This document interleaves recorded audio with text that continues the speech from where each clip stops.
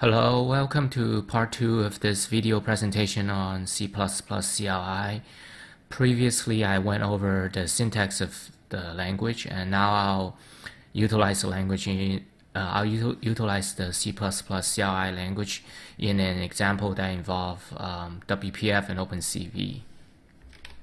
So this is what the example will look like. On the left side, there's the input picture and the right side is the output picture which is um, the contours of the uh, picture on the left. So there's an OpenCV function that uh, looks for contours and then I'll plot those contours using WPF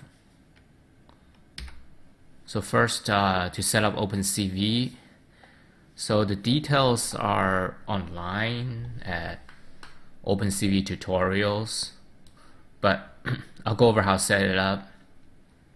Basically, you have to uh, tell the computer to find the H files and the lib files, and then you have to tell the operating, operating system to find the DLLs. So the tutorial that I'll be using is the finding contours tutorial. So go over to here, look for contours, right?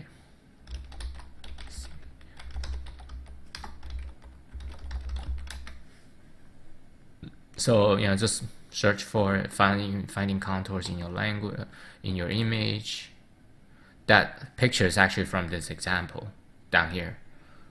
Okay. I actually use this picture. They, you know, I guess for example, they they use like the inside, just a fish, but I just took the whole picture here. Okay, so this is basically the example just pulled straight from the internet. I'll just just highlight and copy highlight. And copy. Okay so I haven't created a new project yet so it's under the solution that I've been using so far. And I won't be doing this anymore because it'll be WPF now it won't be uh, it won't be console application anymore okay so I'll add a new project. So first of all, I want to just just run this stuff that I just copied from the internet.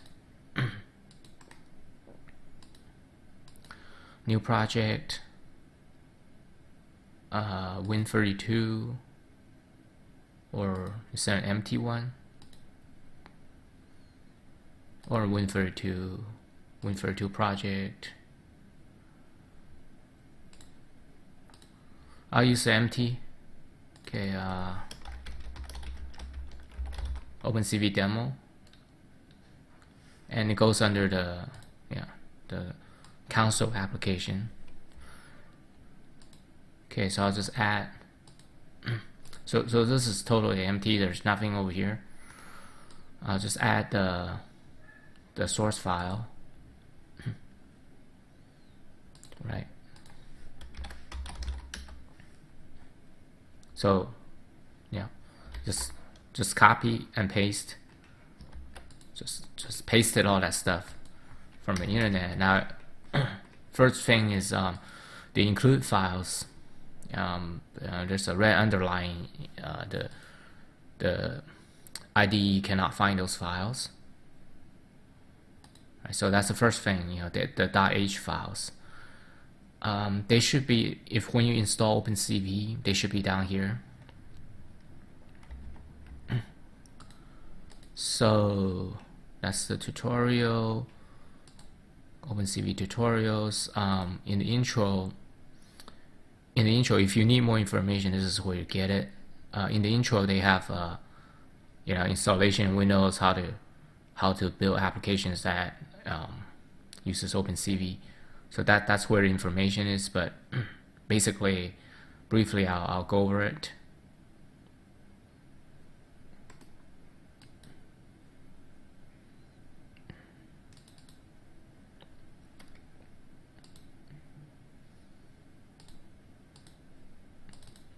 So for my computer, it's uh, I put it in here. So the OpenCV so-called installer is just a it's like a self-extracting file. It just extracts a lot of files, uh, there's a source file folder and there's a build folder, so I'll just be using the build.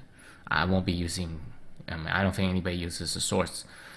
This is for building from source, but I'll just use the pre-built binaries. And they have 32-bit binaries here and 64-bit binaries, so I'll be using 64-bit binaries. So that's what I meant. Uh, uh that's why um, the OpenCV, when you install it, you extract it to a certain directory. By default, it's OpenCV and build include. So that's where the H file is. build and include. So I'll just copy this directory.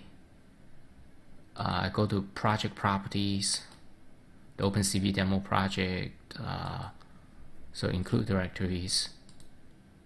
Edit, put a new one here. I just you know copy or you can browse for it, whatever you can browse for it, whatever. Okay, so so after I added those uh, include directories, uh, the pound include can be found. So IntelliSense can find all the stuff now. So I put my mouse over it, you know, there's this uh, hint popping up. Okay, so but that you still can't build it. I'll go ahead and build and see what happens. So clean solution, rebuild the solution. Oh, I should build. okay, so the build this thing is not being built. It's not in the build list. So if you look at output, know, there's a class library, DLL, there's, oh, there's all these unresolved references. Oh, it's been built. Okay. Just, just to be sure, sometimes when you create a new project, it doesn't get built. Okay, so there. So they, they're all checked. But you do have to fix this. Um, like I said, I want you want everything to be on one kind of CPU. So I'm using x64 here. So so once again, I have to fix this CPU thing here. Uh, new.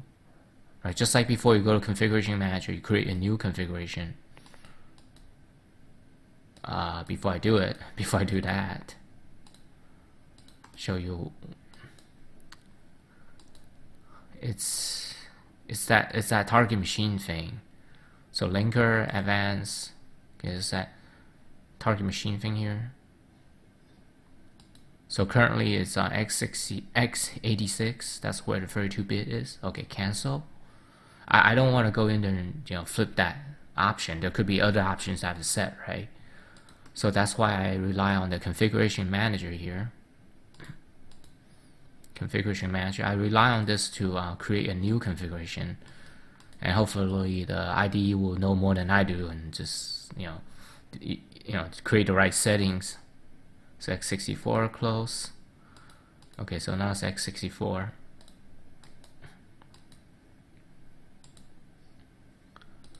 So after I flip to that configuration, oh,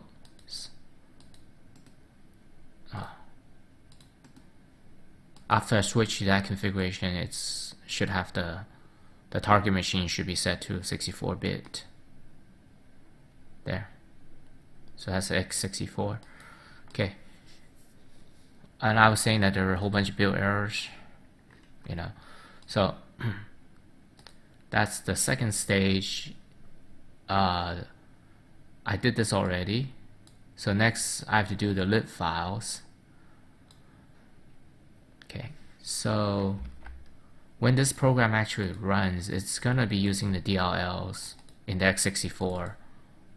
Uh, it's gonna be using these DLLs at runtime. Now during compile time, it needs the lib files, and there's static lib, but in the lib files you have these. Uh, you know, there's like a D version, and there's a version that doesn't have a D. So this is the release version the the D version, the D.lib version, that's the debug version.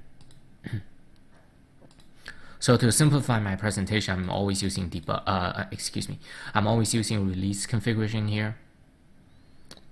And you can do it in the configuration manager. You can have this, uh, you know, you can have this build, um, the release build or the debug build and they're different because they're using different lib files. The release versions using the, you know, the 2410.lib, and the debug version will be using this one with the 2410d.lib.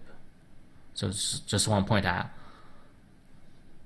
Anyways, to build, you need to add uh, references to these um, lib files. So you have to tell the IDE where the lib files are. So I just copy this directory. Properties. Uh, I think it's linker. Wait, oh wait, no, it's yeah. They, they have it here. Well, they have it here. They also have it listed under linker, but I, I guess this is easier to find. You know, you know C++ directories. So include files, reference files, uh, lib files. Right. Hmm. I mean, excuse me, library files corresponds to variable lib. So this is the lib files. Just paste.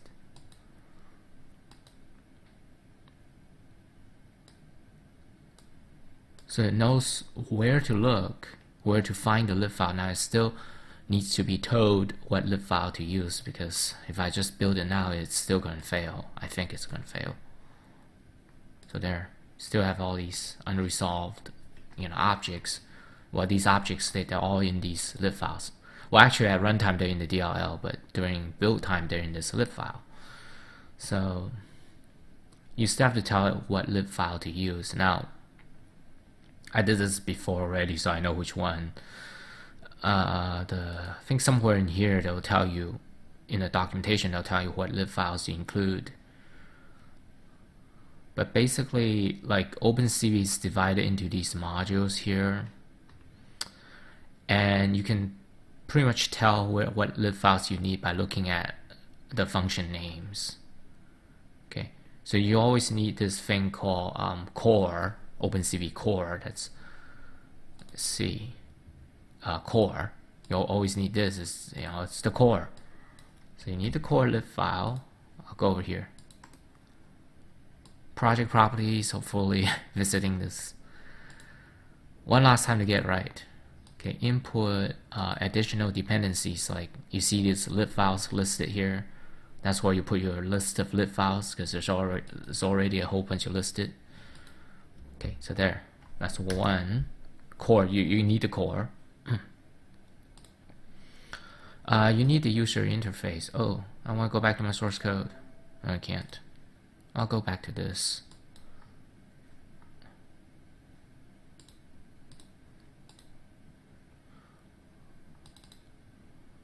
uh, HighGUI. That's the that's the user interface. So when you run it, you, you get this picture on the left side, right, for a scroll bar here. Or you can look, uh, you can Google some of these functions, like this function. This function reads in an image file. The file name is in the command line argument. So this function, if you Google it, it's gonna be in the uh, HighGUI module. So you need the the HighGUI uh, HighGUI module, the HighGUI lib file. This one, right? This is debug, so this is the one, right? So copy, copy the file name. Basically, you know, whatever H file you need, you need that module, so you need that lib file in addition to the core. Do this. Okay, and the other the other uh, module or the other header file you need, uh, this project needs is the image processing header file. So there's, you know, look for the same uh, lib file, or you can just you know have have the build fail, and you can look for you know the the symbols that you need. right? So when the build fails, it's got a bunch of symbols, and you can just kind of Google those symbols and to see what you need, what kind of lib files do you need. Okay. Uh, so in this case, for this demo, once again, I'll go back to that screen again. The files you need are the core. You I always put that in there, and any module that's being referenced by you know the header files. So there's two of them.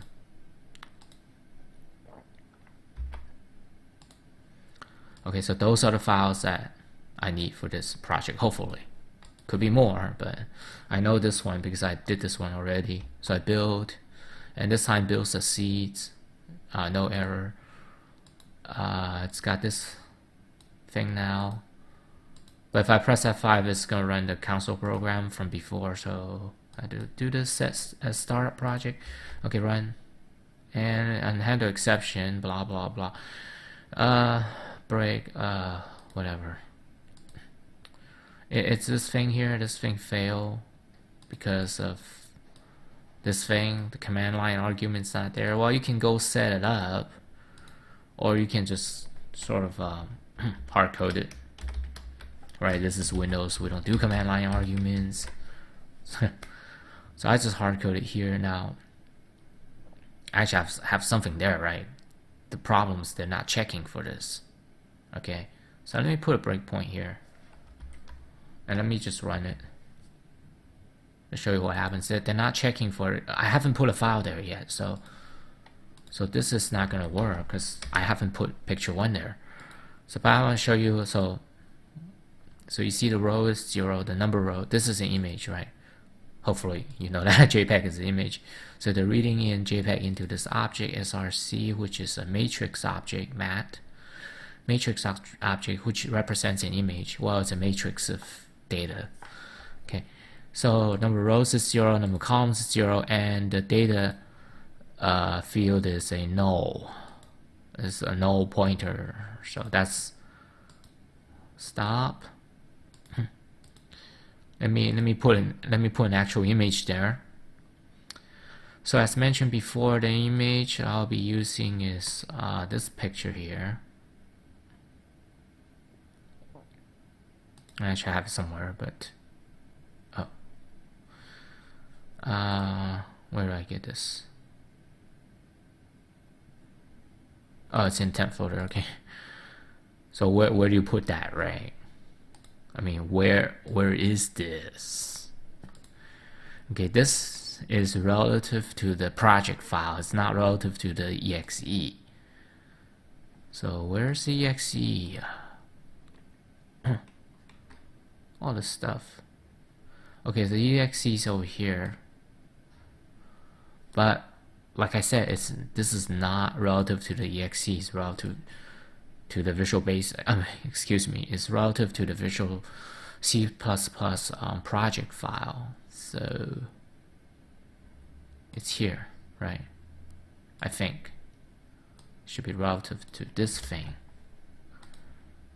So I save the picture as something here. I'll call it pick one, pick your one. So I put it here, okay? So hopefully this time they'll find it, so I'm gonna run it. So this time there's a 206 rows and 200 columns and the data pointer, the pointer to the you know, bunch of pixels is no longer null, it's pointing to something, right? And what if I click this? Wow. Anyways, so it's pointing to that stuff. Okay, so this is gonna work hopefully. So I'll take out my breakpoint and move it right. Okay, so there's output of the example project. So this is your sensitivity adjustment. So so less sensitivity, have fewer contours. Uh, more sensitive, you have more contours, more lines are being detected. Okay. So, so notice how here the scroll bar here is like invisible here, invisible scroll bar. Here. It's off screen. Also, even though this is a simple picture, if you if you adjust it all the way here, it could you know it could take you a while to process it, right? But for a complex picture, this is a very simple picture. For a complex picture, like a low sensitivity here will kind of will make your computer seem to hang up because it just takes so long to process information. Okay, and the other thing, you can't resize this thing. This is really bad, right? Oh, made it larger. Oh, oh, my mouse is gone. It disappeared. Okay, yeah. When you mouse, when you when I move my mouse into this gray area here, I can't see it anymore. Okay, put back. So you can't resize it. The scroll bar is invisible, you know, so on so on. So this is this kind of user interface is just for homework or something. It's not. you can't use this for real. Which is why we have WPF. So, oh, okay. So I, I went through the H file and the lib file stuff. Now, and I can just run on my system because I already have this in the system path. Okay, in the DLL. So I'll show you that before I move on, just to be sure I don't want to leave out any detail. Uh, when the OpenCV program, the exe file actually runs, it actually goes to those DLL files.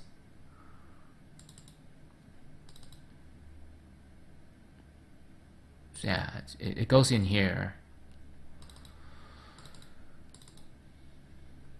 Okay, so for example, when the code execution gets to imread, uh, the function the function is actually in that DLL file. It's in the the GUI DLL file, not the GPU, the GUI. Yeah, it's actually in this DLL file. So for this thing to work, you have to tell the operating system where to find this DLL file, and the way to do that is to uh, have in the system path the environmental variables. So edit system environmental variables, environmental variables. It's in here. So can't find it for you. They should really make this better looking, but oh oh here we go. So this is this is uh, it's in my path. It's in my path variable, the OpenCV build x64 VC12 bin directory. Uh, this is what enables Windows to to locate you know this DLL file that I need this DLL file that I need during runtime okay but you need to set this up but I, I don't have to set it up I just show you that I already have it set up okay so at runtime you need you need to add system uh, you need to add the location of DLL files to the system path. Okay, so that's what I showed. Next, I'll go over the code a little bit more in detail. As mentioned before, um, MAT, MAT stands for matrix. Represents an image or it represents a matrix of information. Uh, so that's the MAT here. and then this code reads an image into that that matrix object so that's the that's the imread here I already put in a breakpoint to show you that you know there's a there's a rows uh, columns and data so for invalid picture the rows and columns will be zero and data will be null okay for a valid picture uh, my picture has about 200 rows and 200 columns and data is just that thing, uh, whatever that it's in there. So that's how to read an image. Uh, this program to find the contours it uses actually a total of four functions. The, the find contours function is the last of the four. So go back here. The first function it converts the picture to grayscale. So that's the, the you know grayscale flag. This is a function called convert to grayscale and blur it. So that's a pre-processing. Uh, blurring is pretty common. Blurring, pretty common to pre-process images. So then this code, like I said, there's four functions: blur it, canny filter, and find contours. After blurring it, then they create a window when you run the program, you have two windows, right? There, there's this window and there's you know, there's this window showing the original picture and there's a new window showing the your output. So they're creating those windows. Oh, Okay, they're creating this window, so-called source window. Source window has SRC. the SRC matrix is the original image. So source is the original image that you read in here. And they create a uh, taskbar, a track, excuse me, track bar. That's the scroll bar and when people click the scroll bar this function gets called uh, thresh means threshold so I'm going to put breakpoint here just to show it. Okay so then create a window show the window and then they'll call this right away. So okay that's the first time. So at this point it's it's just blank windows. I can't show it but Okay, I'll just run it. So they ran it, uh, ran the algorithm for the first time. Involves going through this function. Now, every time I click this scroll bar, it's gonna the executions will go back into this. So I go, guess I go here, I guess. There. So execution comes back here. Uh, callback. They have this. That scroll bar value is 49, used to be 100. So 49, let me run it to prove that it's 49. Right, so 49 over here. So the scroll bar value shows up in this variable. So, oh, go back here, go back to my 100. Okay, whatever. So I clicked it, scroll bar runs again. I mean, the scroll bar handler runs again. So now it's back to 100 because I clicked it the other way. Okay. So you run this. Uh, that's the output matrix, meaning the output image. Just remember, mat matrix means image. The contour is going to be a list of points. So a single contour is a list of points. That's one contour. And, you know, a set of contours it's going to be a list of contours. So it's a list where each element is a list of points. So okay, so this is this is where the edge detection. This is where the threshold value of 100, 100, right? 100 threshold. This is where it gets used. This is that's a number from scroll bar. That number is the input to this um, canny function. That's the that's a edge, det edge detection algorithm, edge detector. So uh, the higher the threshold, the more edges they'll find. So they use this function to find the edges. So this called thing called canny output.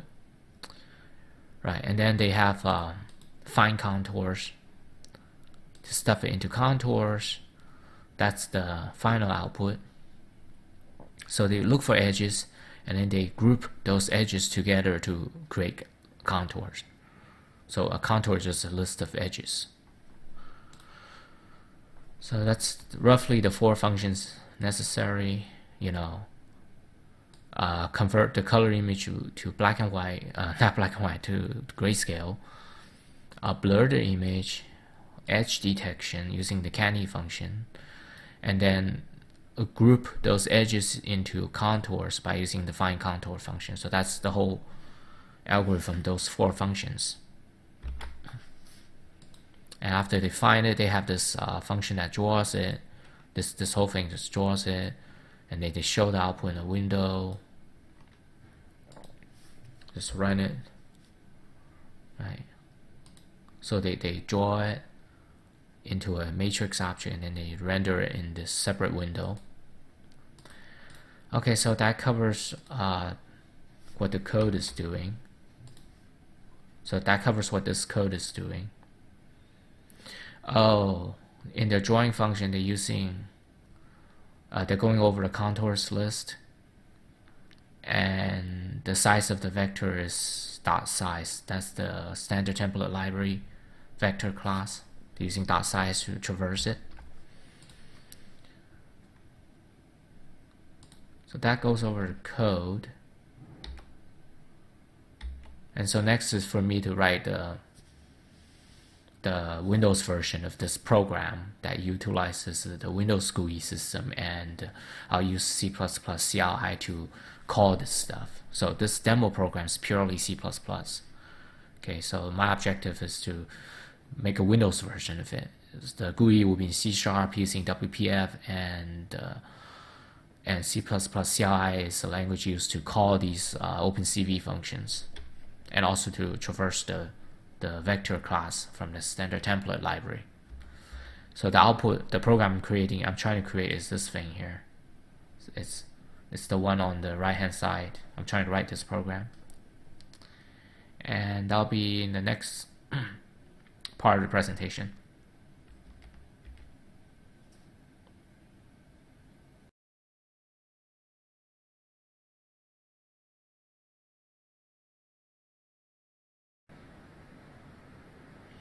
Okay, so now I continue to work on my uh, demonstration program for C++ CLI. So previously I ran the program in in C++, but that one you know uses a, a basic, very basic GUI system. Next, I'll lay the foundation for this program by writing the GUI, writing XAML, and just creating some basic uh, skeleton event handlers just to show something on screen it won't be the finished program it's it will be something similar to this but much uh, much more empty much, it's just a blank picture. The only difference I'm the only thing I'm doing here different from the demo is the C++ version of the demo is that uh, they have a scroll bar here and I have a just a text box. Because like I said if this image is complicated uh, looking for contours will take time. So uh, doing this operation to find the contours you could hang up the GUI and the solution to that is actually to run this in a background thread but to keep this presentation simple I'll be running it in the GUI thread so it's important to uh, when you hang up the GUI, you actually know about it, that, oh, it's supposed to hang up a little bit because the image is too complicated. So I'm using a text, I'm using this, uh, I'm using a text box. That way it's easy for me to just turn the mouse into an hourglass, you know, to signal that, oh, the GUI is busy. Okay, because it's, you, you shouldn't really do that for scroll bar. So that's the only difference. I have a text box instead of a scroll bar. And the layout is very simple. It's just a text box and a view box. So I'll just copy that over here. I'll, I'll put a load in. I'll put a load event in there uh, manually, I guess. Okay, so I'll make a new project this time. Uh, won't. Oh, I still need the OpenCV. Yeah. A new project, a Windows project this time. Windows Desktop. WPF application. Should I call it WPF? Okay. okay, this is the WPF version. Here. Oh, there's a loaded event, huh? I will put in here. Loaded. So F12 to generate the event handler here. Uh, text box need to give it a name. Let's see, uh, threshold, right? That number, that 220 in here is the threshold. That's the threshold integer that's being passed into the Canny edge detector. So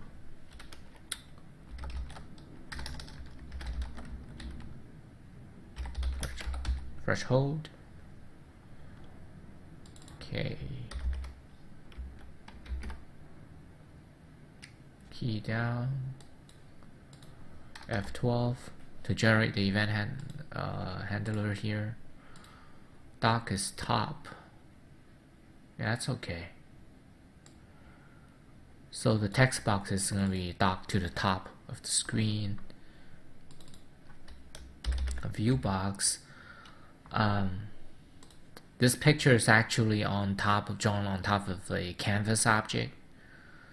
Now to make the canvas resizable, I put it inside a view box. That's the that's the easiest way to make something resizable. So view box I get oh. Hmm. view box. Stretch is uniform. So that's how to resize and the content inside the view box.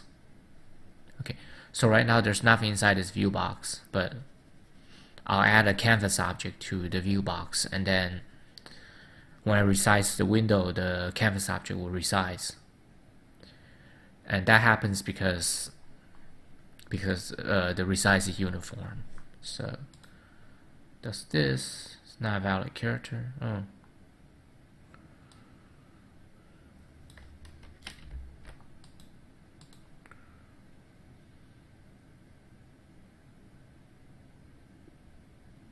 Hmm. This is that. So where is the error? I keep keep removing stuff until I find error, huh? Wow. It's almost like something here is broken.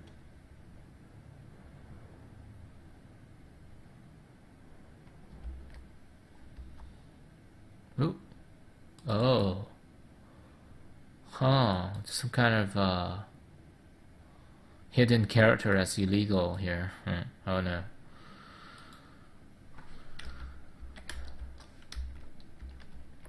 This character. There's this hidden character in here. When I copy from PowerPoint to Visual Studio. yes, after all these years, you still cannot copy back and forth between Microsoft Office and Visual Studio. I had better result actually copying from LibreOffice or OpenOffice to Visual Studio and back anyways. Okay, so those errors were caused by hidden characters, uh, non-printable characters that injected at the end of this line, at the end of every line actually, seems like. Okay, so, oh, I need to fill up the event handlers. Uh, so that's a design view, there's a text box at the top and there's a view box so view box, uh, stretch, I think it's in transform. No. Anyways, uh, you can you can look up you can look up different options of the stretch. Basically, uniform will stretch the image while preserving the aspect ratio, and there's another one that lets you stretch it without without preserving the aspect ratio. Now I actually want to run this and have something on screen, right? Oh, it's running the OpenCV.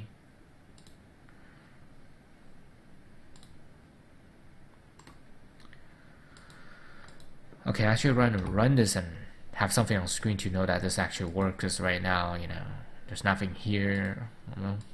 What if I put a circle in there or something, right? So, oops, GUI layout. Oh, very sensitive to a mouse. Okay. So like I said, I'll be drawing on the screen. I'll be drawing on the canvas object.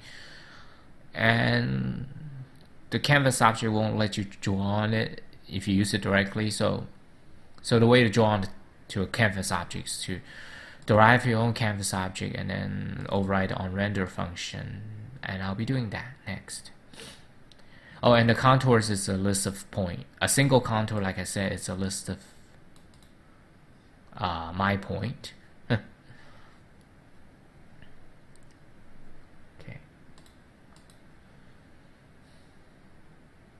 Uh, my point is the data structure that I'll set up in the in you know in this class library. I'll set up a my point to differentiate it from the the point data structure that's being used by Windows. Okay, so I need the my canvas object. Oh, know if I had this. Uh, I think I'll just copy from here.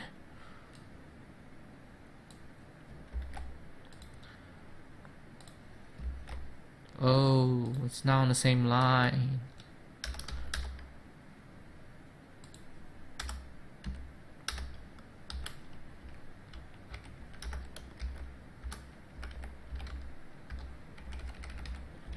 And for now, I'll comment this out because I, I don't have a data structure for points yet. I'll, I'll take care of that later. So this is canvas object. This is my derivation of it. Uh, when this object needs to be drawn on render will be called. And that's DC's the drawing context or in the old days we call them the device context. How about I just draw a circle or something? Oh, ellipse. So brush, brushes, dot, oh, black I guess. I need a pen object so pen, pen, new pen. Right, so pen takes a brush object. Black. A thickness, so I'll use 5. Okay, so I guess pen is the edge of the ellipse. So this is this must be interior, so change change it to some other color. Uh, what was it again? the pen object, right? Point center. Okay, new point. So that's why I had the, the my point thing, because there's already a point here. Okay, so center, how about make it 100? 100? Uh huh. Radius, how about uh, x radius, how about 50? 25? Just made it up. So this is a canvas object with uh, ellipse in the middle. Now I need to get that onto the screen. So it's I'll add it to the, the view box. Okay. Uh, sure, I'll just create it here.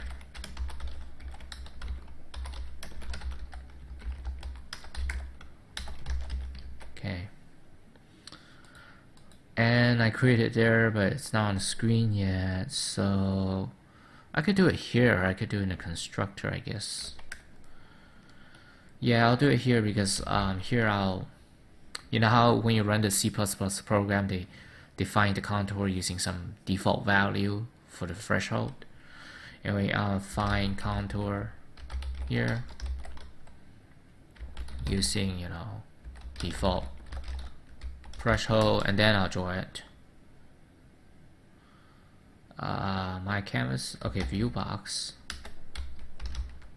That's how I'm to attach the canvas to the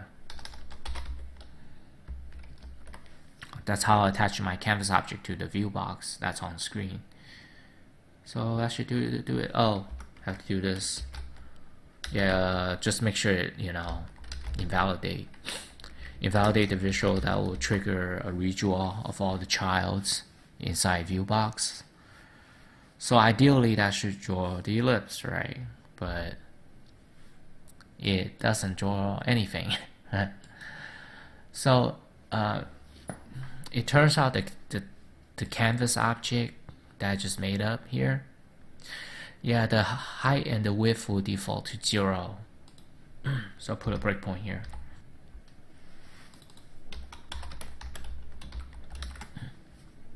So my canvas base object, uh, base, base object, where's the height and width, width and height. Static members.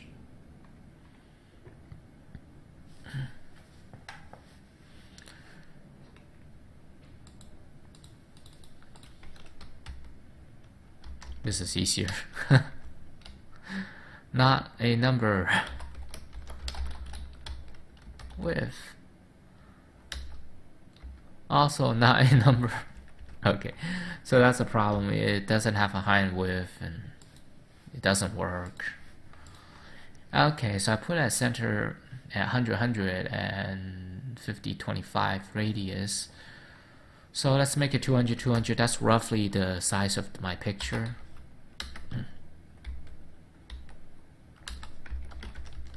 Actually, let me do it before I attach it.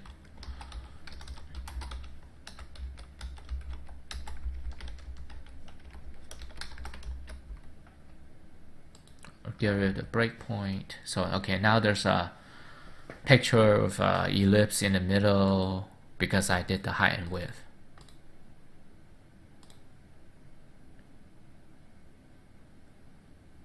Okay, so there's some some more stuff here. So I, I did the my canvas thing. That's the that's my wrapper class that I'll write next. It's gonna be written in the C++ CLI language. Oh. It's gonna be over here. Uh, threshold key down, it's already here, right? Yeah, threshold key down. And Windows loaded is already here. So that's the that's the event that gets fired when the window appears. So okay, so the skeleton of the program is now in place. I can run it and I can get this basic program with a circle in the middle. That will eventually be that that uh, picture of the fish. Okay. So that completes this part. Just get the basic skeleton working.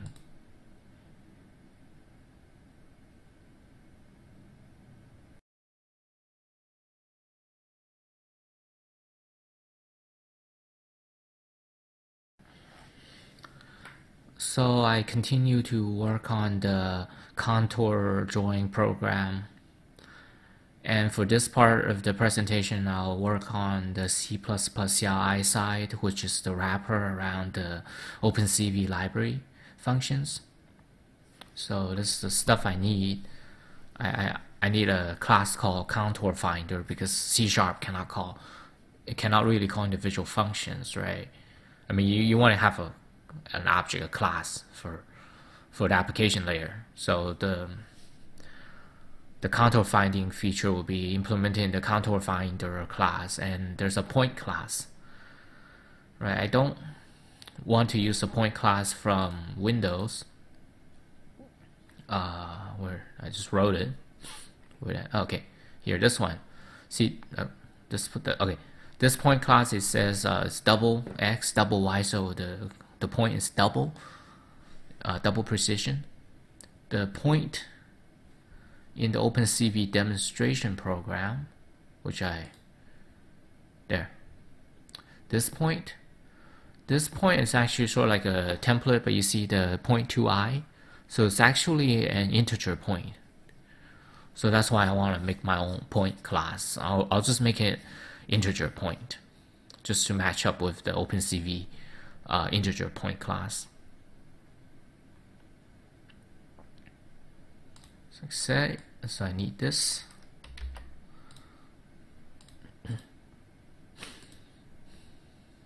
oh, and clean out some of this stuff. Uh, pretty much all of it. I cleaned it up. okay.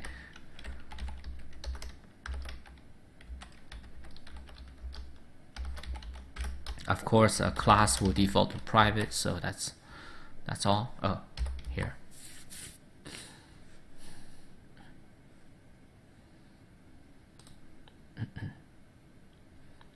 and here's a contour, contour finder.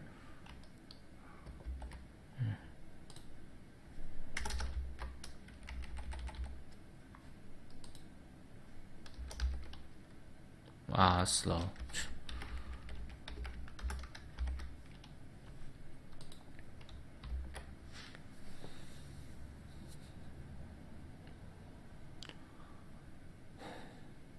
Okay, so okay, load picture that's just a function. It takes in you know a file name. Oh, I had to do this. Uh, why did I have to do this? Because of the conflict. Okay, so let me do a little bit more here.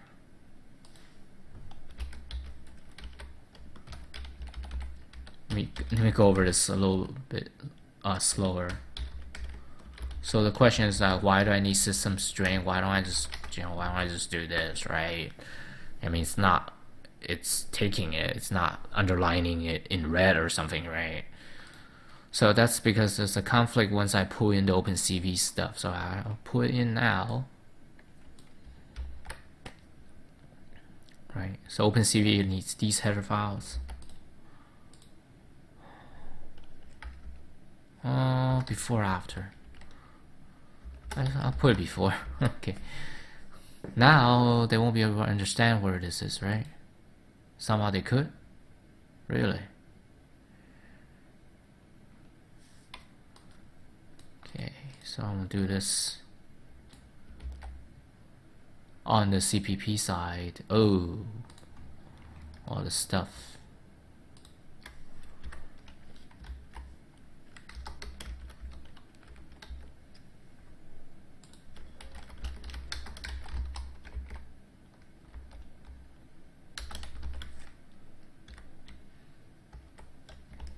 Oh, this should be public.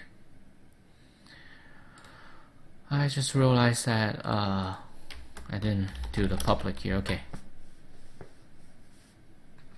Okay, now they have a problem. Because, you know, there was a bunch of errors here that I completely erased. Okay, now they say they cannot find this.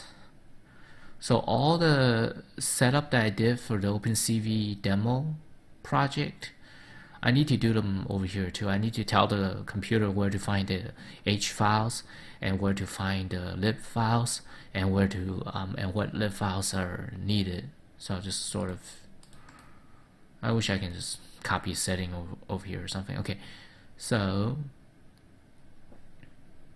no, not this one. Class library, projects, directories, uh, here's the include directory. Oops.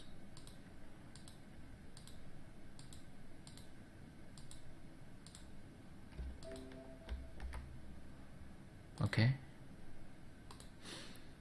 I need the lib directory x64 I'm, using a 64-bit version of the build.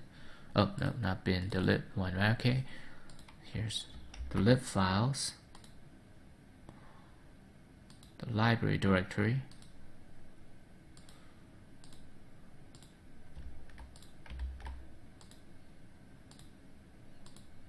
And I need those three library input files. Okay. So this time I'm not I'm using my own GUI right? So you think maybe the GUI is not necessary? Actually the, the oh you think the GUI, the HighGUI might not be necessary. Actually, actually the GUI is still necessary because this function, the function that reads in an, an image, that's part of the GUI module. So the GUI is still necessary. I'll just copy the file list from over here. just copy the list of lib files.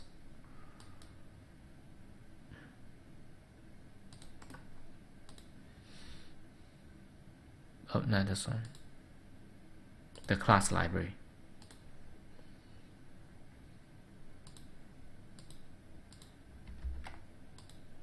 Okay. So that should be good enough. So so I did the H files and the lib files and the list of lib files. Once I do that there might be a once I build it let's see there might be a conflict here. Yeah missing this before that. Yeah semicolon.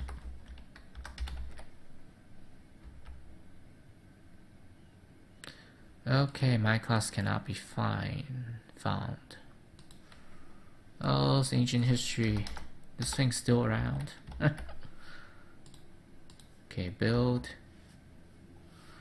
Oh I need to make sure that the dependency set. I just remembered so when I did the console application, I say, oh, it's dependent on class library, right? Well, the WPF application is going to be dependent on class library too. So it's gonna use the contour finder. So this actually got accepted.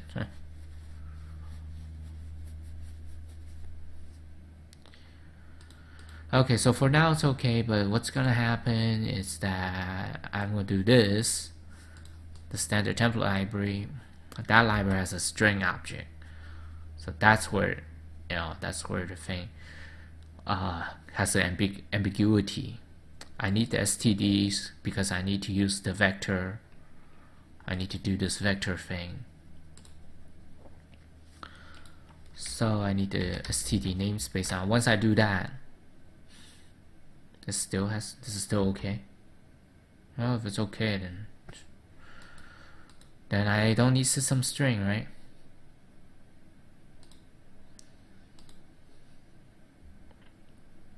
Okay, so this this seems okay, I guess.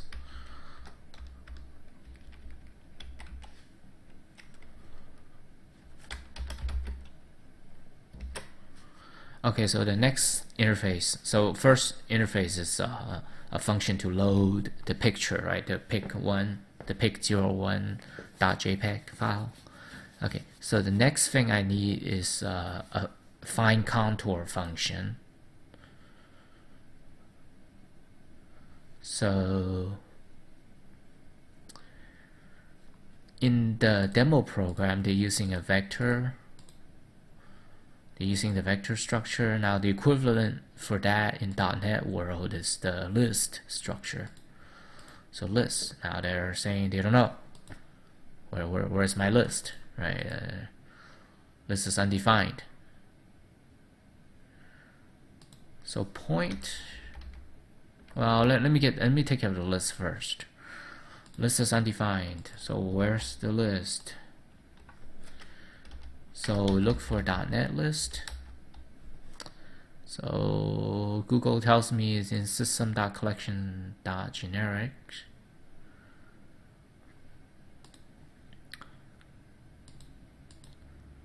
So I go over here and try to add a reference to it or something, right?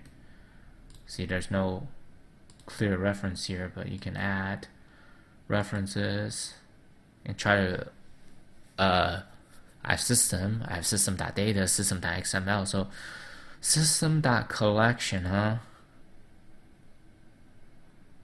And I'll try to find it and try to find it and you know system dot no no no no such thing system dot collection no such thing right not there see Okay. system dot collections. Okay, so it's not in here, but it's actually, if you Google for it, it's actually there already. It's in this thing actually. So it's actually included already, right? Yeah, it's in the Microsoft Core Lib, Core library.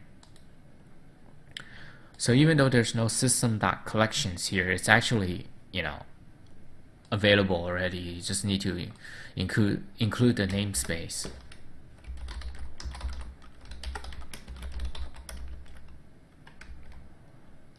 Uh, collections.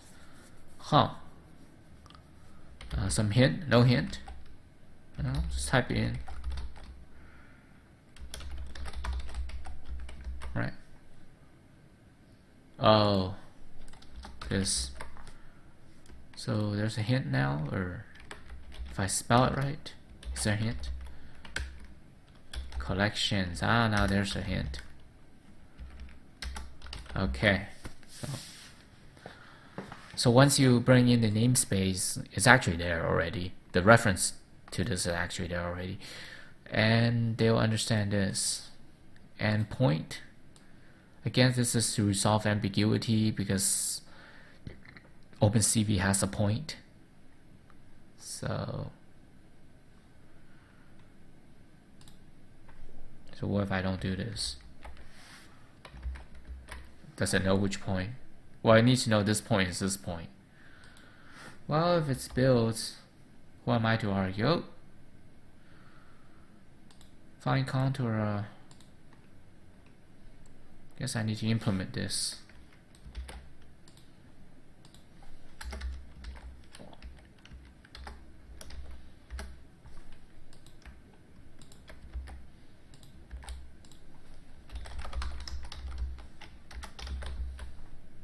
Build. Build succeeded, no errors.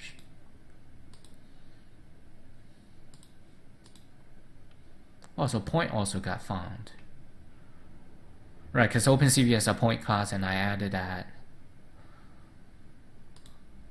Yeah, I added this part class library, colon colon, to avoid ambiguity. Okay. And I'll, so right now I'm just doing the skeleton of the wrapper. I'm not really coding in any functionality. Okay, so I'll need to do the rows and columns because remember the the Windows level, they need to set the, the canvas height and width.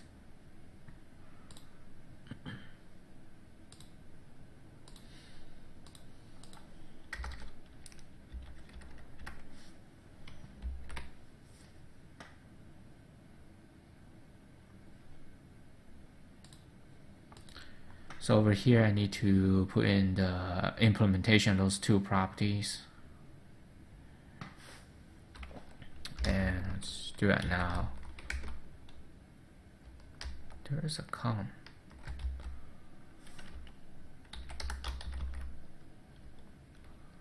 Uh, rows, right? Rows and rows and columns.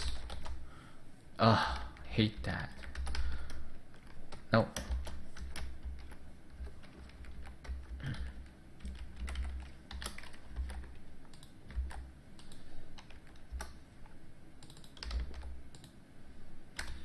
Oh, not there's none. There's just columns. Right. And I'll return zero for now. So when I call low picture, I'm actually going to detect the rows and columns and you know store inside of the class. Okay.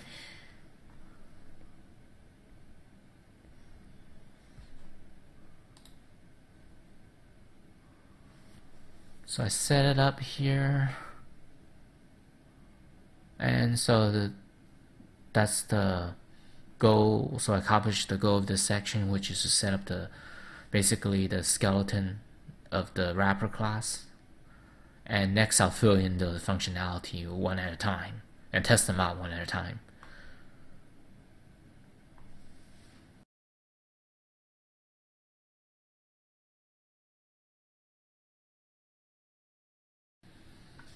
So in this part of the example, I'll work on loading the picture, the load picture member function. I'll work on that. Okay, so contour finder, oh, I had it commented out. So this code, this code goes on the C sharp side. Just copy it. Uh, it's over here when the program starts up. Oh, it puts it on one line. See, it's multiple lines here, obviously. So, it's all kinds of things. So first of all, contour finder, you know, and they can't find it. Is that what they say?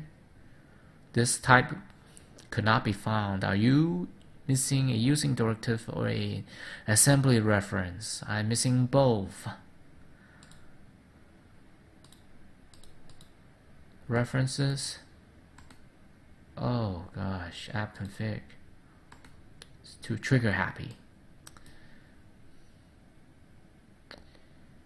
And I'll add reference to the class library. I'm using this library, class library 1. That one has the definition for the contour finder using class library 1 okay. So I added a reference. I added this uh, direct directive here. All point. Now ambiguity right? There's a Windows dot point in a class library 1 dot point. Okay. So I need to resolve that ambiguity by using an alias. Okay. So do that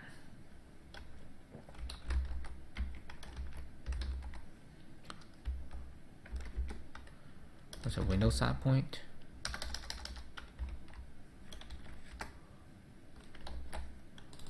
system. Windows point. That's the complaint right? It's a so point is gonna be that. And my point uh, class library one dot point okay so that's why over here I had it commented out previously so the contours will be uh, using my point, which is the point class that's in the class library, this point class, uh, with integer coordinates. Whereas the Windows version uses a double precision coordinates. Okay, so, okay. So I got that using default threshold. So I load the picture. So again, I hard code the picture. So for this to work, I better copy it over or something, right? Oh, they're both in this. Uh, when I put the picture, I put a picture inside the demo, right? Okay.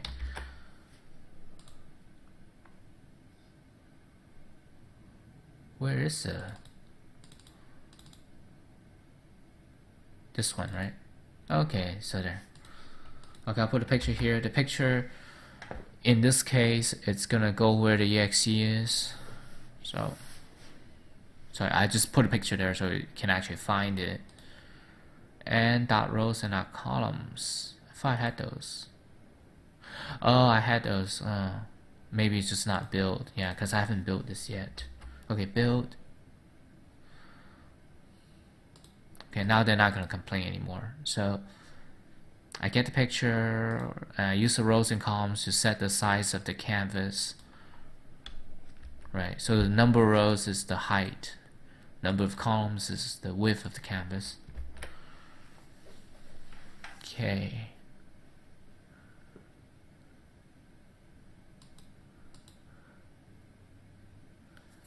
Yeah, so this actually won't do anything, right? I'm just loading a picture into a contour finder. I'm I'm not actually rendering anything to the canvas. The canvas, if they try to render, is still gonna be like this stuff, and this is uh this is unused for now. So I just comment it out to remove that warning because for now it's unused.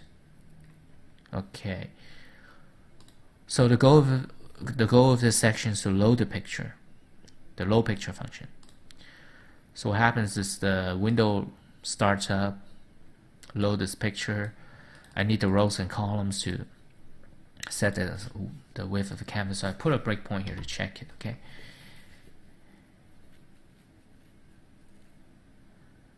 And a better, because the load picture could fail, right? What, what if this is, you know, fake? What if it doesn't exist? I mean, I copied it there, but it could potentially fail.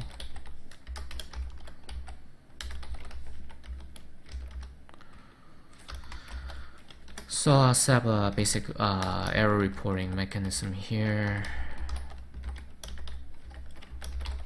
Okay.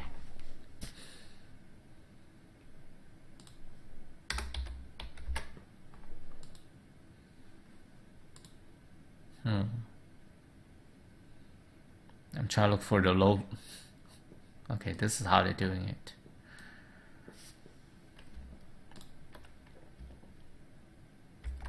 And they have this.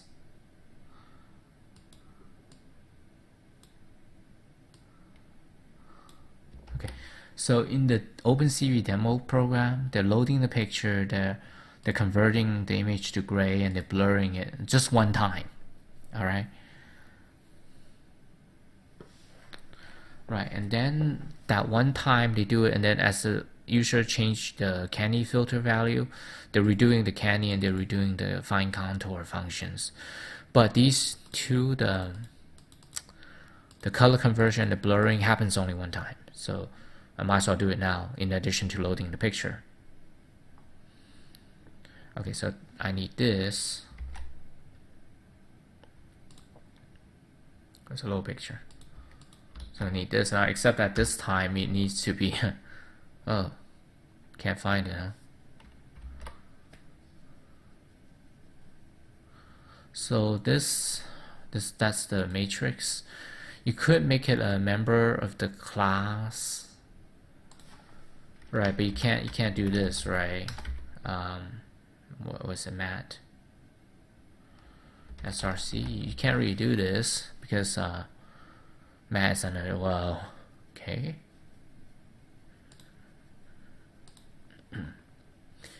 Even though I have the include file, I still is unidentified because I'm missing the namespace.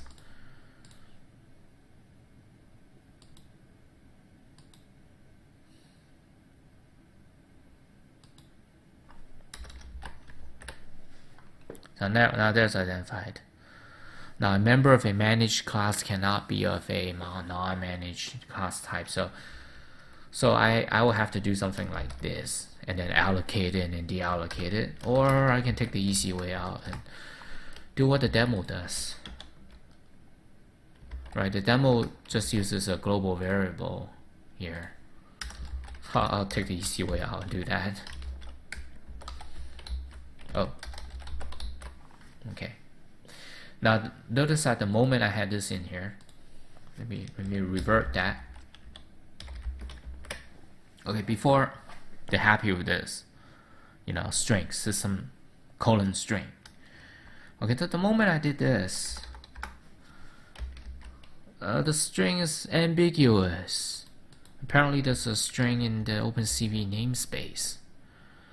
Okay, so let me reorganize this a little bit. So they're confused, right? There's one in system, the .NET string, and they have one in OpenCV. It's a collision here. So to fix that, I have to do that system thing, right? Because it's ambiguous, I do this. Now they know what, what it is. I have to do it here too, which I already did previously. Okay, you have to use system string because there's some kind of string in the OpenCV library. It's okay. Oh, point. Point is ambiguous because you know that there's a uh, point.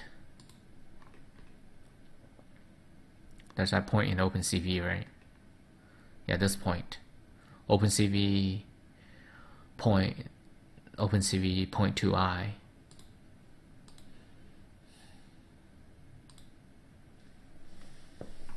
So I have used uh, class library one point because I'm referring to the point object here. I'm referring to this point object.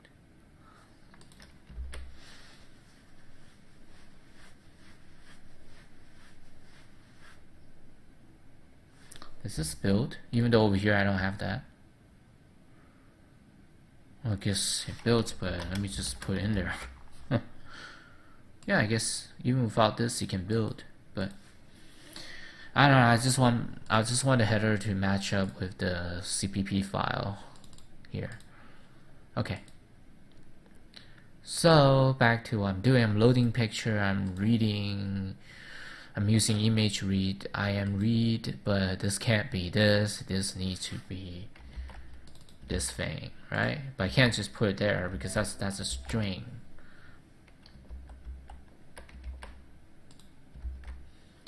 I can't do that because I, I have to convert.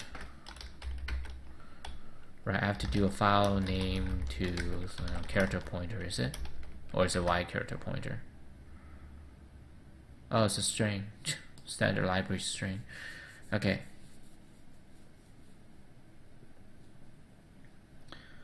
So in the presentation, I mentioned this previously, but I skipped it. At the end of part one, so you can I say you can use this, right? Just kind of skipped it here. So now I'll now I'll do this. So I, I didn't do an example there. I'm saying I'll do it later. So now's the time for example. Uh,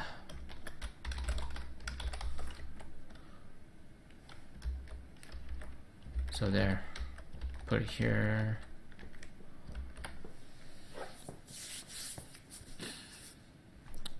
Bring that in so I can use the Marshal. Yeah, I can see Marshal here. Marshal. So that's the function string to ANSI. So it takes in a string, that'll be the file name. And it's returning a uh, int ptr object.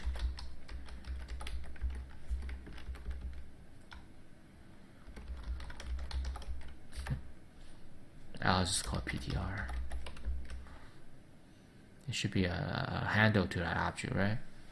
Oh no, it's returning the object itself. Okay. So I this is still not the character pointer, right?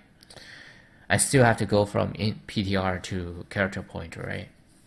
So it's just a cast. I'm sure there's some kind of safe cast or static cast or something like, you know,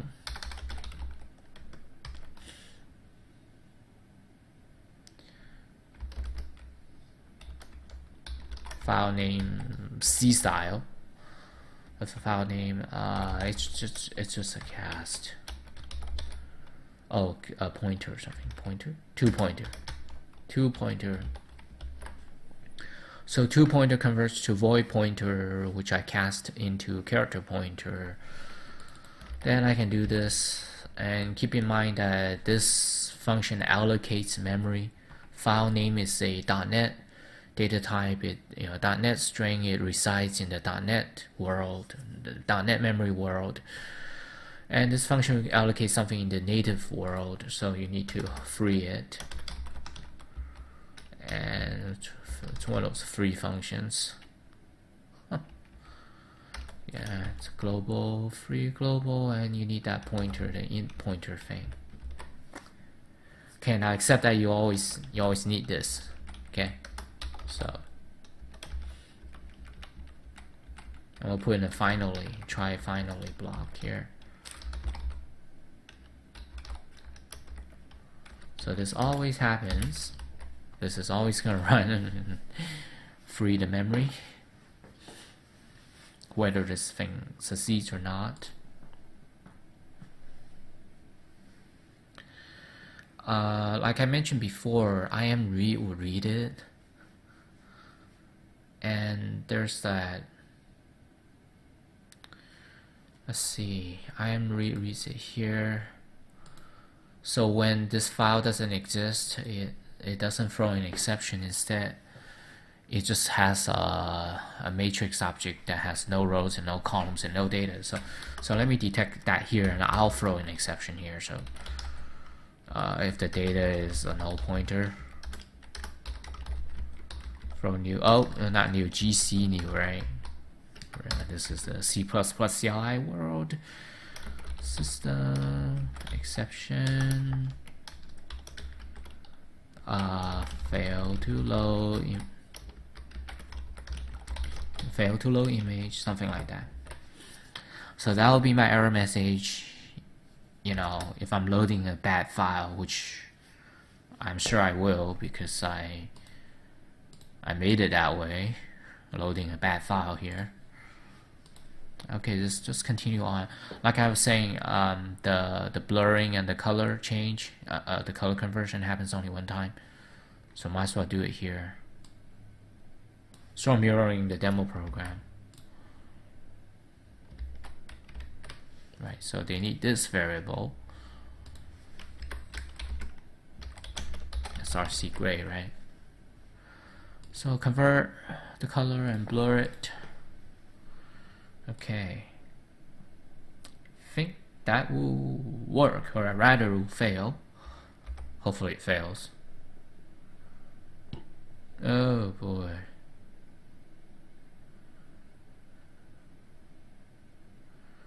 Well, that's horrible.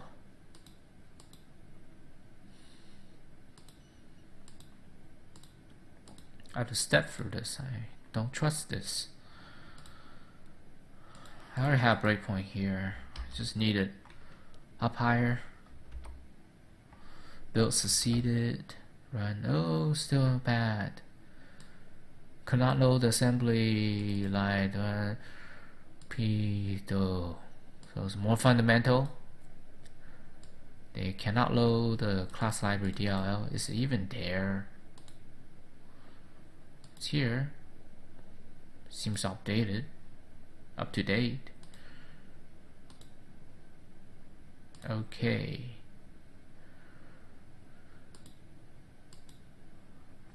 See if I if I clean and build. So something that's something to try. Rebuild. I go look into oh oh there we go there we have it so it's you know the same time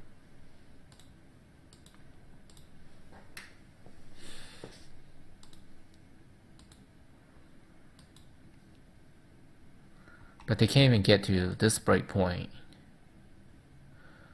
oh is that is it that CPU thing again?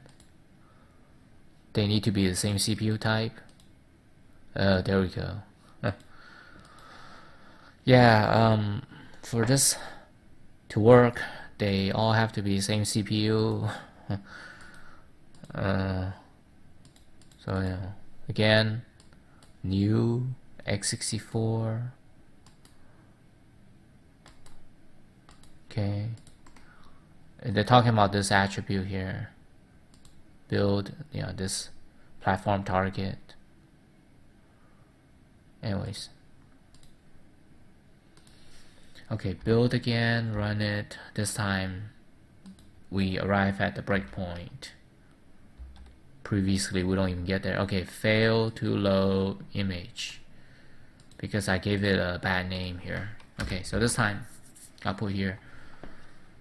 Uh, okay, so still not done because the rows and columns, those are not implemented yet. So I'll go in there and fix that. So it's src dot rows row src dot column or is it columns? Oh, which one is it? I think it's columns. I think this is rows. Oh, there's a row. And there's a rows. But look, row is like a function. See? See the hint here? I you know these symbols where they come up these symbols but because they're both like like rectangle right why don't they make one rectangle one circle I don't know so they're both cubic uh, rectangular cubes so basically the, it's the message on the right tells you that this is a function and this is the the member variable whatever okay fail to load image I thought I fixed that didn't I I still have this Wow.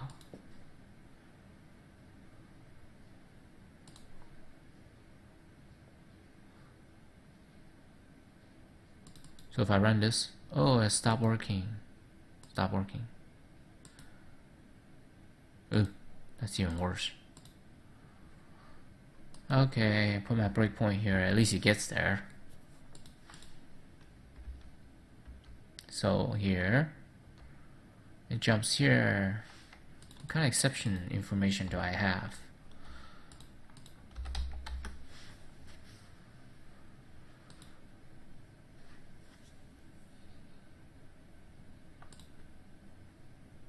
No, no, no, just failed to roll the image.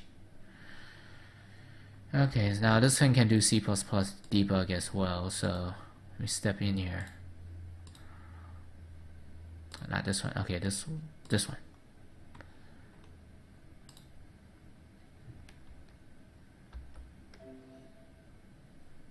Yeah, yeah, whatever complains and still works.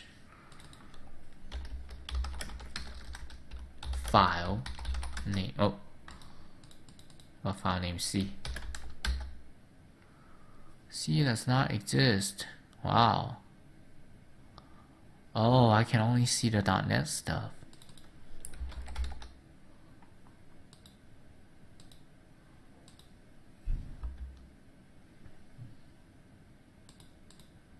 Well, maybe there, there is something to that message, huh?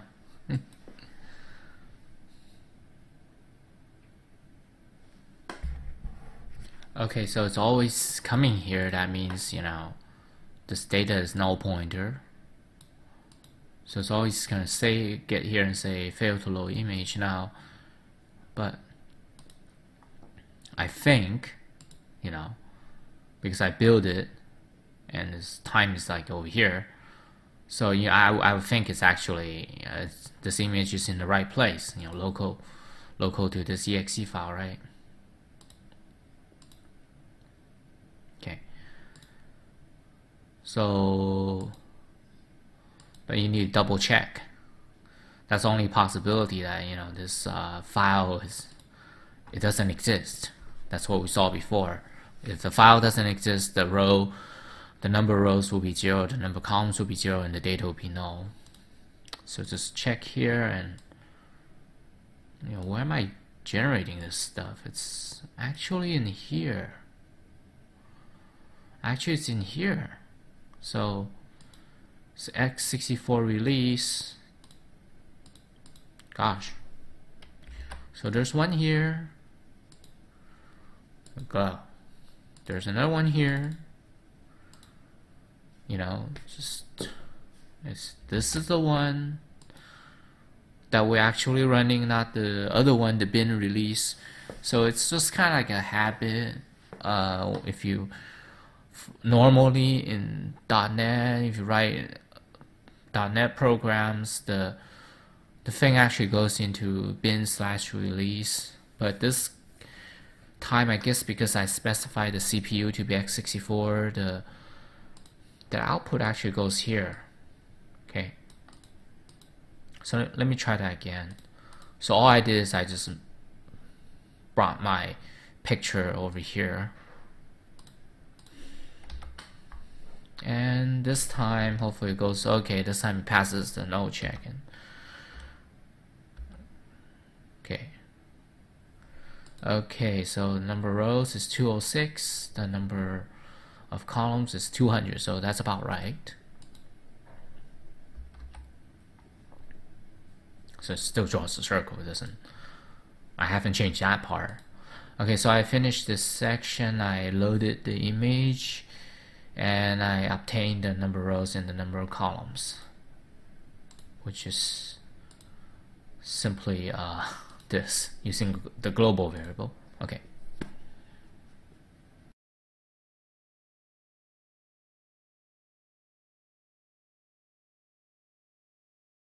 Hello, now we reach the climax of this presentation, actually uh, finding the contour and then drawing that contour.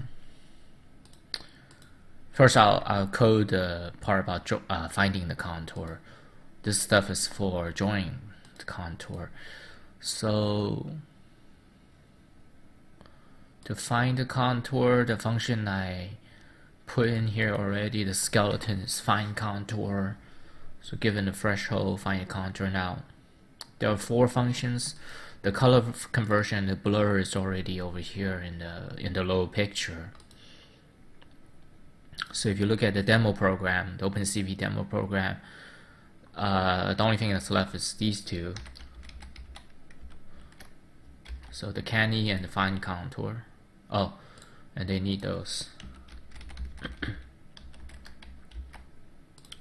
they need the various uh, data structures there. So threshold is threshold here. Okay, find contours. Okay, so canny output is there, contours there, hierarchies there, matches the argument list. What else is in? Oh, point here. So this point is um, class library one point. So it needs to be the OpenCV point, I guess.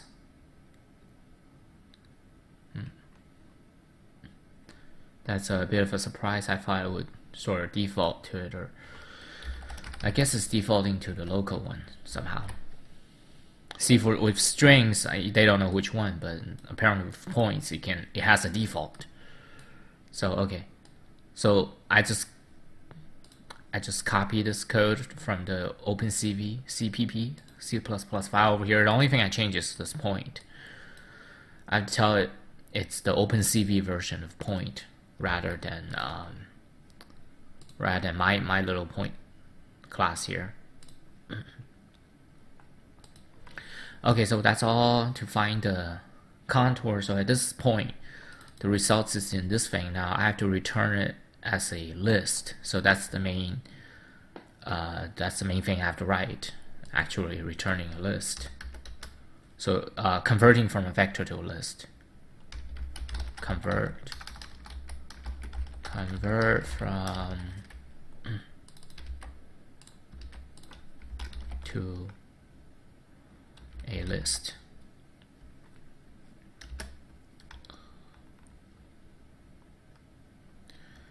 So first I'll do this.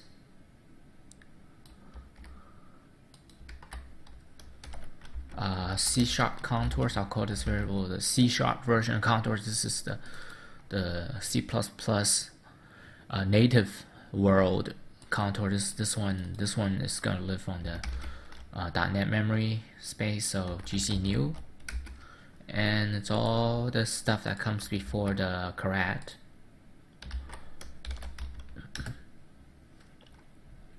I need to traverse the list and then you know uh, put stuff in there. So I traverse the list as if it's an array uh, contours. Uh, the size. I mentioned this before. See they're using dot size. This is how they're traversing it. Uh, well I shall just copy it over. Yeah that's how I'm traversing it too. So it's a vector where each element is another vector. So internally, for the i vector, the i vector is another vector point like this.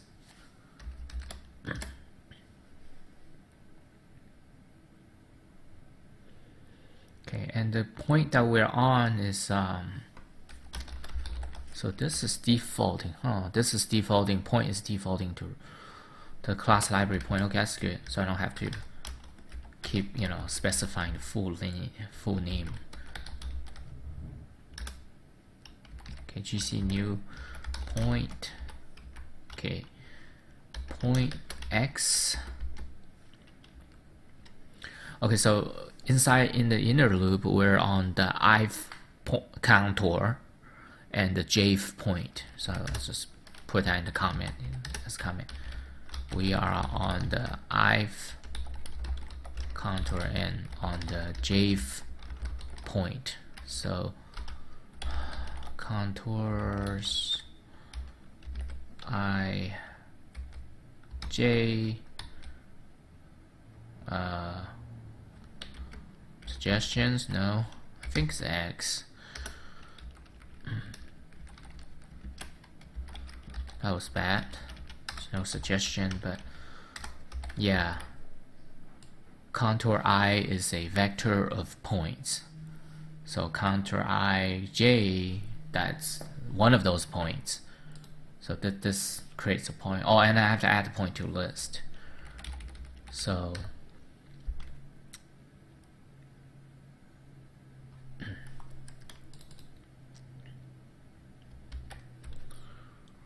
So this list at this point when I created it, it's totally empty. So I need to add a list. Add now what what goes into the add function, right? It's it's it's this stuff inside of this. well, it's, it's GC new, but minus the caret. Okay. So I'm adding a list of point objects. Do I really need this? Or it's ambiguous? Oh, apparently not. apparently I can get with it. Oh, that makes it a lot simpler. Mm, okay, seems to work. Okay, no red lines. Okay, so i is the contour index and j is the point. So in here I then add the point, right? So on the ive contour, like this, the ive contour.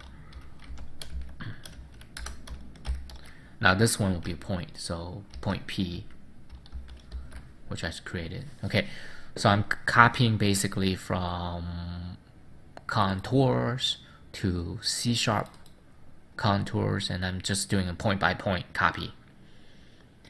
Okay, that, sh that should do it. Oh, of course.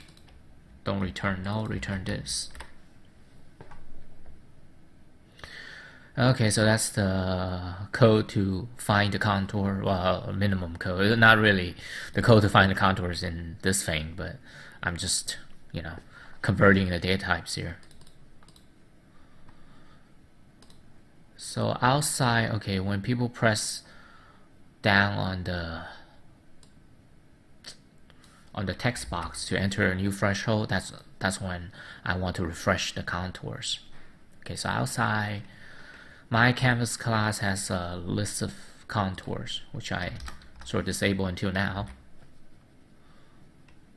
Okay, so when people press down on the enter key, uh, the threshold text box key down, so it's gonna get here. So if uh, I'm not gonna process this contour thing every time people press a key, right?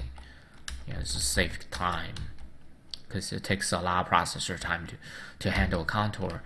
Okay, so only when they press enter will I only when they press enter will I uh, uh, do the the find contour thing. So what's a, what's the contour? Okay, contour finder is here. This contour finder is dot find contour and the threshold. I'll just paste it. just paste it for my presentation here. Okay, so I need don't need to do this a little bit easier. Okay.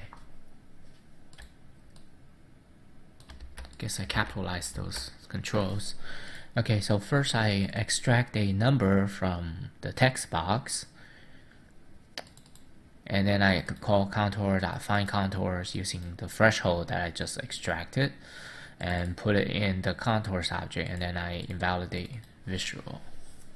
Or maybe it's better to do the view box. Doesn't matter, either way will work I think. Either that or either view box or um, my canvas that will also They'll both work. okay, so that's the code. That should be sufficient to display it. I mean, it, it doesn't draw it, okay? It just gets a, a new data structure and stuff it here. So the, the join code needs to be in the on render function, but for now, let me just focus on one thing at a time. Just okay, get the get the data structure in there. Okay. So render, okay. Okay, there's that other place, right? When you're starting the computer, uh, when you're running a program for first time, it's, it's gonna get here. Get here, let me think about this. Uh, on contour, hmm. I should give a default contour, I guess. Right over here. See if the if the if the image is invalid, it's gonna come here. That that you know that this stuff is never gonna happen. So that that contour thing, just give it an initial an initial picture. Find contour. Uh, this threshold is a number that goes from uh, 0 to 255 so I use 200, I think. Oh no, 25. Yeah, the higher the number, the fewer the number of edges and the fewer contours it will find. So that's good. You know, you want a fast, you want a quick uh, speed, quick startup. okay, so it's like this. Loaded the picture. I get the high-end width. I call find contour to update this and then I attach it to view box and validate the visual, which will cause this to be drawn. So let me put breakpoint here, just run it. So when I run this, I should get something in the contours. Data structure, right? Oh, it doesn't work. Oh, a whole bunch of things. wow. Whole bunch of things go wrong, and of course they're all fake. Only thing that's real is probably this stuff. Oh. well, I guess I guess try to narrow it down here.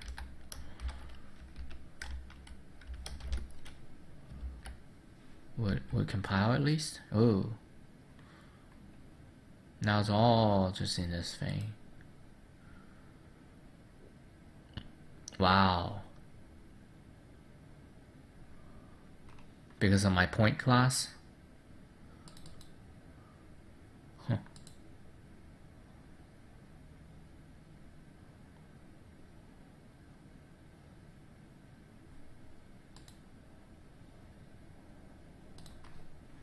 Lots and lots of errors. Oh, I should build more frequently. So it has something to do with my point class. Okay.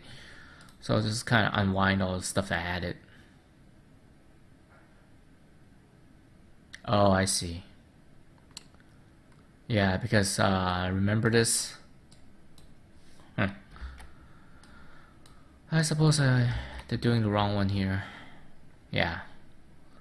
Because they, they're defaulting, remember they're defaulting to class library one point. Oh, it compiles this time, builds the seeded. Wow. That little thing made all the difference, huh? Anyways. So I was kind of suspicious, you know. Now there's a suggestion. Okay. It's always kind of suspicious of that one. Okay. So run it. Uh, do I have a breakpoint here? Okay, I do have a breakpoint here. Index was our range must be non-negative. Okay, go back, go back to this. What did I, what did I do wrong?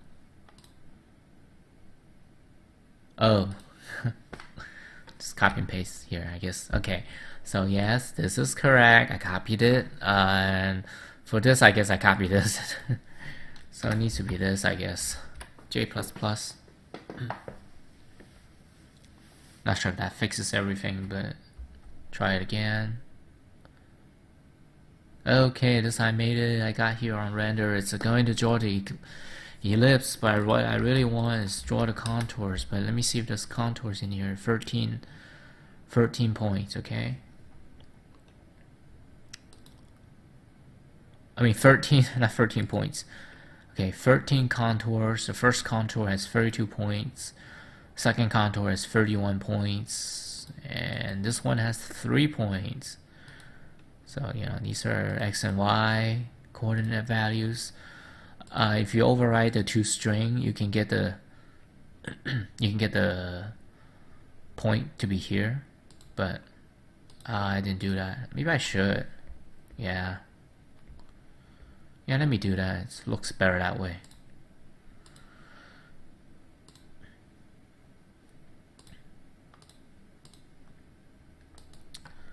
Yeah, so if I override to string, I should be able to do that. So to do that?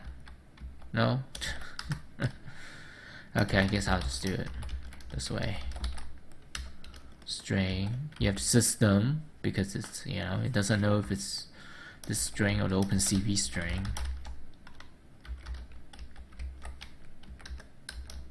Yeah, I'm overriding the the toString function. That's the syntax. Sort of like C sharp, except C sharp would put this override over here on the left hand side. So, uh, string.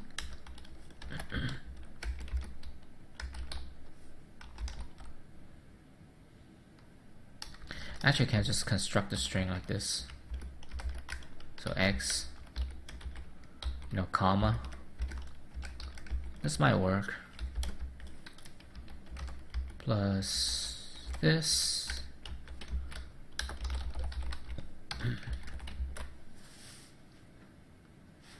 Apparently I think it works. Maybe I just put this in here.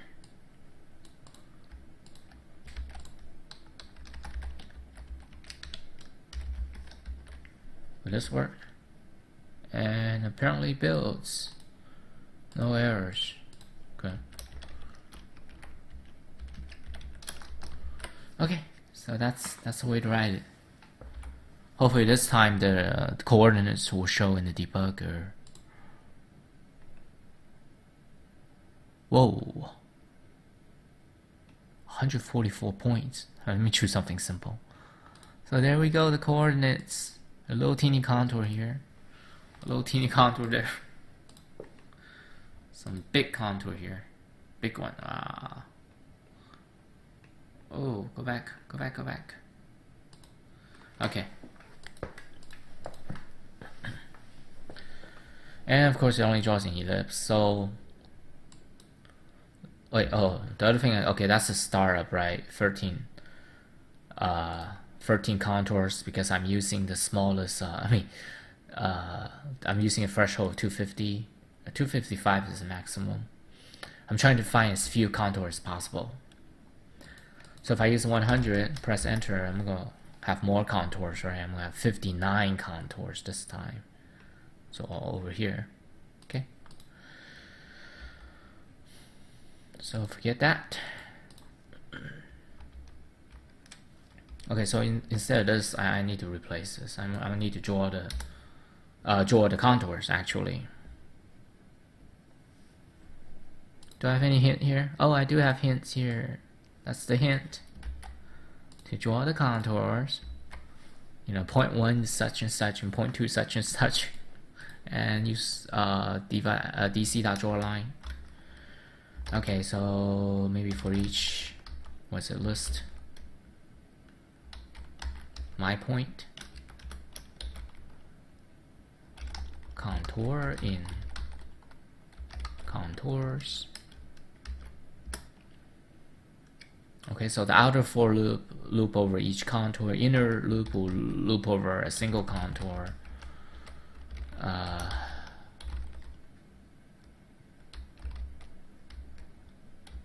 count? Well, it's either count or length, right? Okay, so this stuff goes in here. Okay, point one is going to be the current point.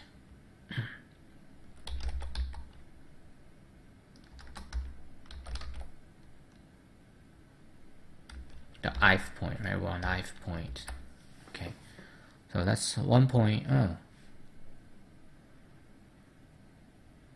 Oh, huh. Okay, so can I implicitly convert? So I, I have to um, write code to do that conversion, of course. That That's okay.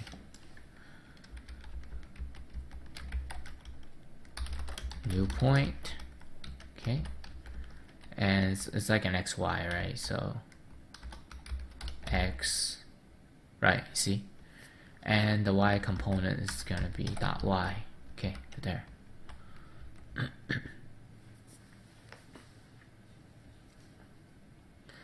So point two, well, it could be the next point, or it could be the very first point, right? See, if point one is on the very last point, See, a contour is like a like a full circle, so I need to complete the loop. So I guess uh, if we're on the last point, so if i equals uh,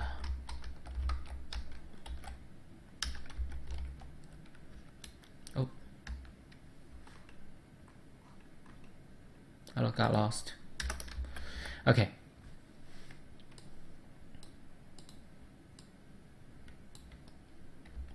Actually, I don't need this, I think. Okay, if... Okay. okay, so if we're currently on the very last point, I would like to do this. I would like to use uh, point zero, right? Point two is the very first point, point zero. Else, uh, I should do this. I keep pressing wrong key. Okay, point P2. Okay, P2 will either be the very first point, so we're finishing up the loop, or P2 is going to be uh, the next point, the i plus 1 point. i plus 1, i plus 1. So we're drawing line from P1 to P2. Okay. P2 being the next point, I, i plus 1 point, or it's, you know, the very first point. Okay, I think, I think that will draw the contour. The pen's always going to be black though. That's the only thing. So let me run it. Yay, so there we go, draw the contour. So, uh, let me make a point. You can resize this, but to preserve the aspect ratio, there's some space on the on the two sides. Uh, resize, and let me make a point that this is only called when you actually draw something new. If you resize, like a transform is being applied to the object, so this will not get called. This on render does not get called. I see it never trips. It trips if you you know type in new threshold value and they have to redetect the contours. So now it trips. Uh, 59 contours or more contours here. Okay. And this is Windows, so let me look at the performance here a little bit. Just CPU performance out of curiosity. It is here. So even though I'm doing this, it's not really. Oh, it is using quite a bit of CPU, huh? It goes to like that. That's like a full core, I guess.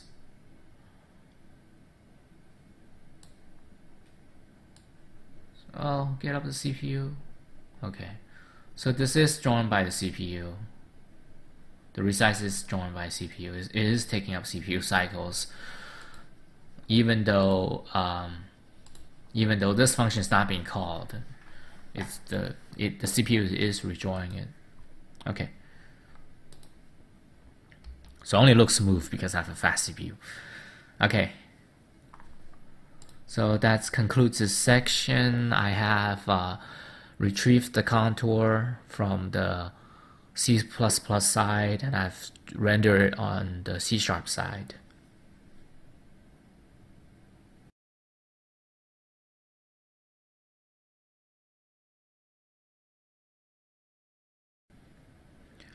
Hello, so we reached the end of this presentation. This is the end of my presentation. There's only one thing left to do. Uh, that's because in the C++ OpenCV demo program, they have different colors, like a different color for each contour, and I would like to have that too. Right now, I'm using I'm using the black pen. You know, I'm I'm using this black pen for all the contours. So I would like to you know randomize the contour color, and that's basically you get a different pen. You get a random pen for each contour. Okay. So I add a function here called, oh, I'll just copy from this. A little bit of hint.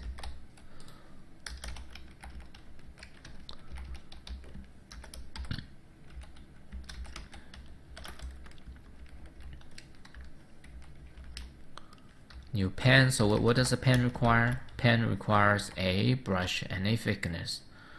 So the brush is B thickness is 5 so brush brush is B up here. That's the B that's my brush. And 5 because that's what I've been using over here. Okay. Now it makes a new color. Now I need to actually randomize the color. Uh, let me let me add a random number generator here. Random rand new random that put a mouse over see uh, initialize a new instance of the random class using a time-dependent default C value. So that's probably good enough. okay, so I need to specify the color. So alpha, uh, it's gonna be 255 because that's the non-transparent. Well, we of make it want to make it transparent, right? So if like two contours overlap, I can tell. So okay, okay. So semi-transparent you know that's the alpha value So here comes red, green, and blue. So I'm gonna make them random. So ran dot uh, next. Well, you can get bytes and get it right away. Have a little, a little better control if we do it separately. So next, uh, returns a non-negative random number for max value and a min value and a max value. Okay, so so max value, and this is the exclusive upper bound, but it doesn't matter. Okay. if red, green, and blue, this is the red component, right? Color that red. If red, green, blue, they're all 255, that means it's white. That means, and I'm drawing on top of a white background, so we, we don't want white. Okay, we, we, we don't want, okay, we don't want 255 there. So, so I don't, I don't want to do this because it could end up being 254, right?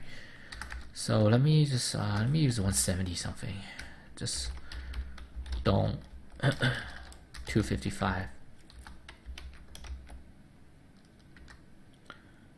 uh, equal white. So we don't want white because we're, we're drawing on top of white background now. Okay, now this is returning integer, so let me let me cast that. Think okay. So uh, RGB, so that'll be the G. Okay, I'll use the same thing, but you know you could set a lower bound. Maybe you don't want it too dark either, I guess. Blue. Okay. So that gets me the random a pen with a random color. So instead of using pen, I'm gonna use this, and I can't put it here because then here will be it'll be the same, right? So I'll put here. So eh, for every contour, for each contour, I'm gonna get a pen with random color. Let's do it. Okay, so that's it. See, each contour gets their own color now. Oh, this color and this is the same. Uh, there. I just keep hitting enter. it's changing different colors. Okay. So we reached the end of the presentation, the very last slide. Uh, if you want more information, on C++ CLI, you can read the, this book, C++ CLI in Action. For WPF, uh, I like this book, uh, WPF 4.5. For OpenCV, it's it's always changing because it's like a new hot topic. Uh, the best place to find examples is the online OpenCV tutorials, but you find a lot of theory in the various uh, computer vision books. But for practical examples, uh, I would recommend the website, the tutorials. Okay, so uh, hopefully you learned something useful in the presentation, and um, see you later next time.